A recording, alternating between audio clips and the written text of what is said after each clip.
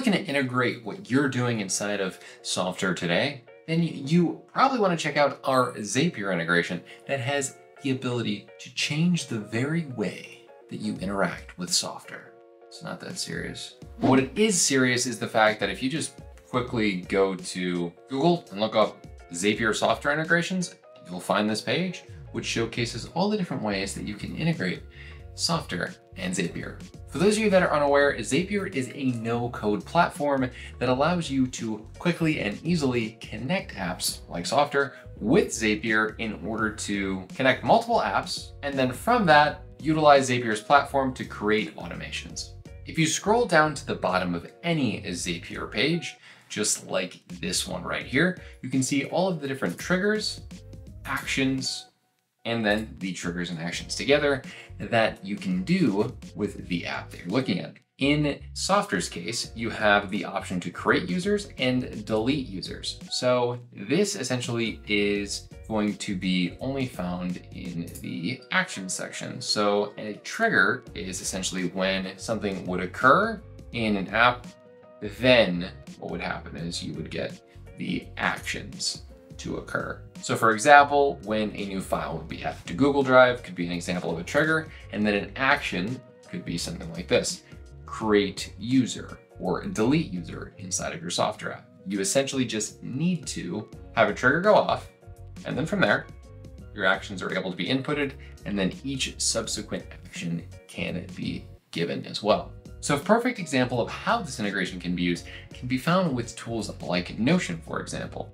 So say you were creating a new application and while your data was connected to Airtable, what I would think for a lot of people is that they don't really want to users maybe from the users tab inside of Softr. Maybe after they've connected it and they've synced with the data source and set everything up, they really just want to interact with a different tool like Notion. What you can do is you can go inside of Zapier and for example, try out this create Softr app user after a new database item in Notion was created. So for example, all we would do here is connect to our Notion through the API. So if I were to connect my Notion account, I can then select the specific pages that I was looking for. So for example, if I were to allow access to the database I'm looking for, which is under my homepage here, then following that, I can select my Softr account.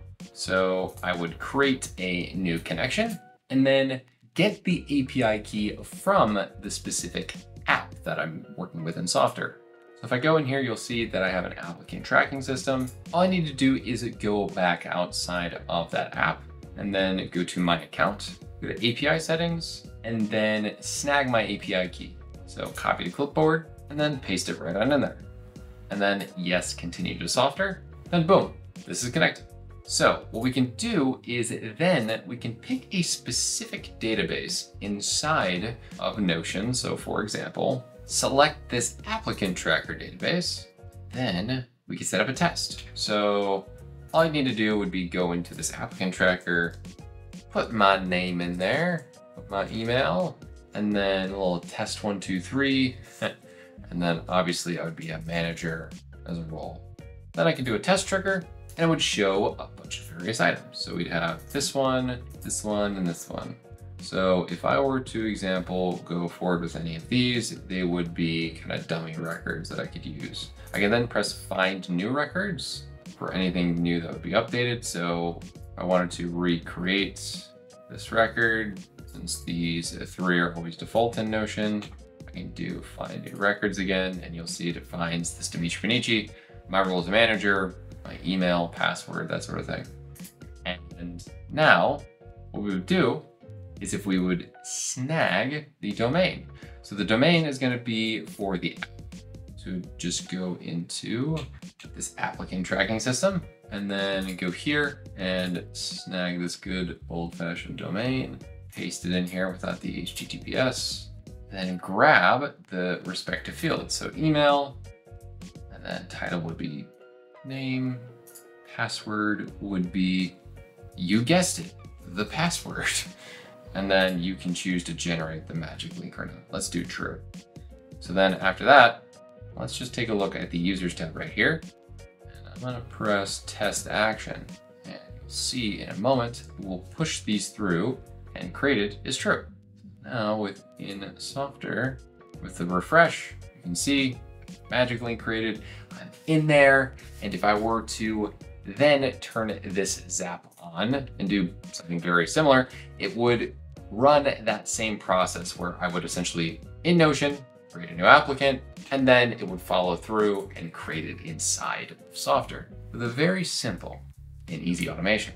And as mentioned previously, there are other actions to this where you could change this to delete a user. So if in the same circumstance you had a different action for Notion, right? Whether it be not a new database item, but say an updated database item. Say there was a status inside of Notion.